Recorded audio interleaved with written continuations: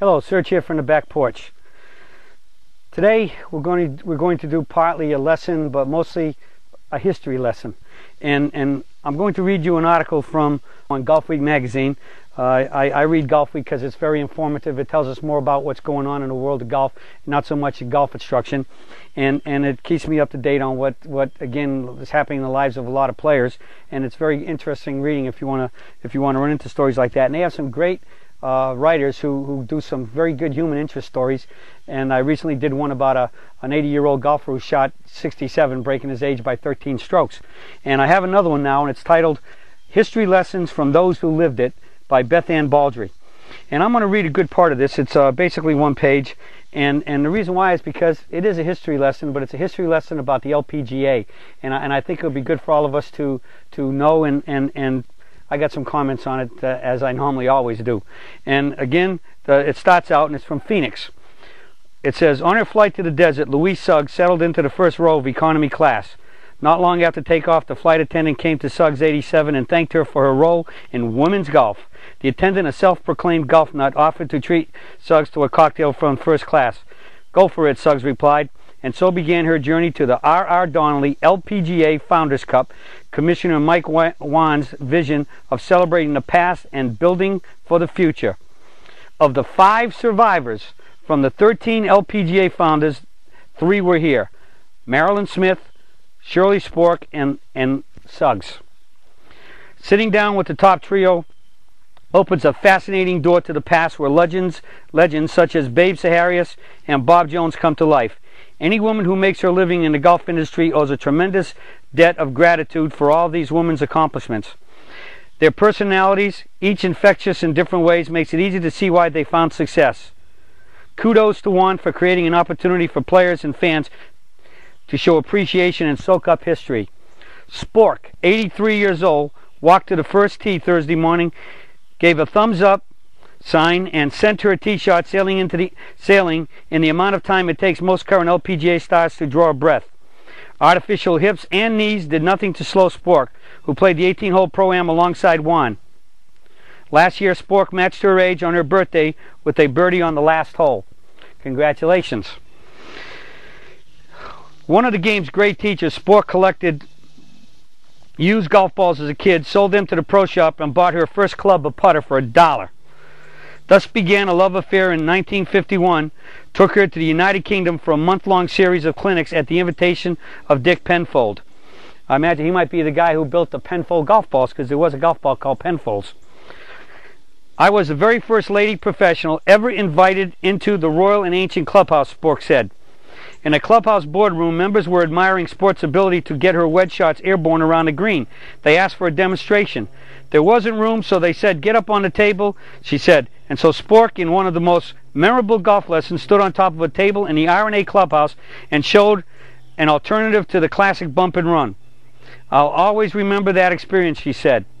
What happened next in this interview shows what's so special about having these women in the same room. Spork finished talking about St. Andrews, turned to Suggs, and asked her to share what Spork considers an important story about her relationship with Bobby Jones. Suggs and Jones played quite a bit of golf together at East Lake Golf Club in Atlanta, and there was one round in particular when Suggs hooked her drive behind a big oak tree that stands out. Quote, Mr. Jones, how would you play this? Suggs asked. Jones told the 19 year old that she could play it any way she wanted under, over, or around either side. He dropped four balls next to mine and did just that, hitting all four in the green, Suggs said. She was too stunned to respond.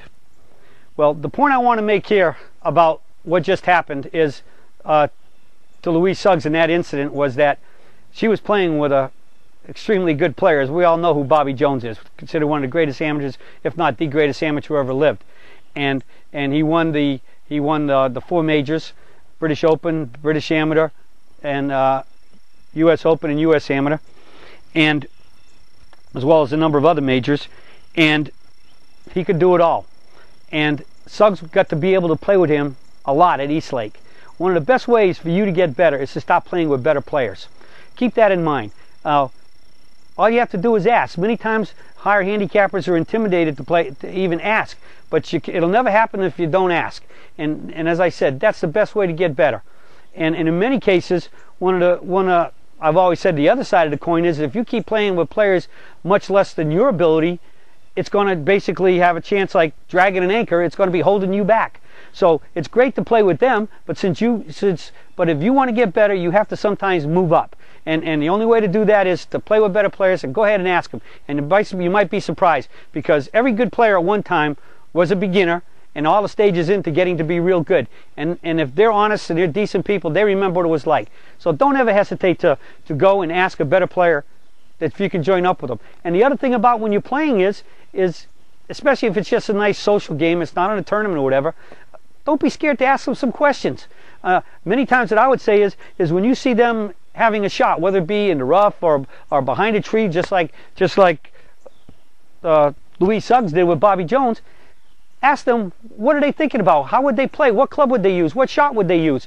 And and maybe even ask them to go ahead and demonstrate it if you're not going to be holding up play if the courses are real busy.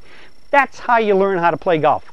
I mean, we all don't we all don't just take up the game and have all the answers. The answers come from experience, having done it all and been there and done that as the expression goes. So don't be scared to ask the, for their advice. First off, ask them to play and then get out there and ask them for their advice. And many, many of them. And if you fail on the first question, the first try with a good player, keep trying. Because I guarantee you, there's plenty of them out there that, that they just love to be able to share their knowledge and experiences and help somebody who's willing to ask and, and is interested and wants to learn. That's the whole thing.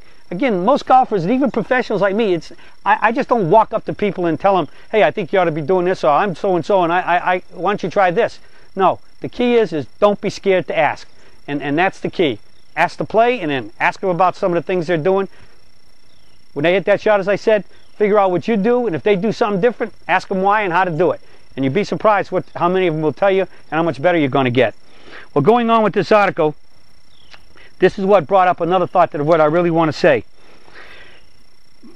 Beth Ann Baldry, the writer of this article, goes on to say, these three could talk for days about what went into building the LPGA and the fun they had in the process. When Smith talks about tremendous drive, she's not referring to a 240-yard poke with, with a persimmon head. She's talking about a 1,600-mile journey from one tour stop to the next in a green Dodge. They reminisced about their tight-knit community when the entire field stayed in the same motel. And it goes on to say a few other things. Now, the last paragraph I think is especially momentous in this, in this and, it, and it's going to lead me to my final comment about, about this story and, and, and history.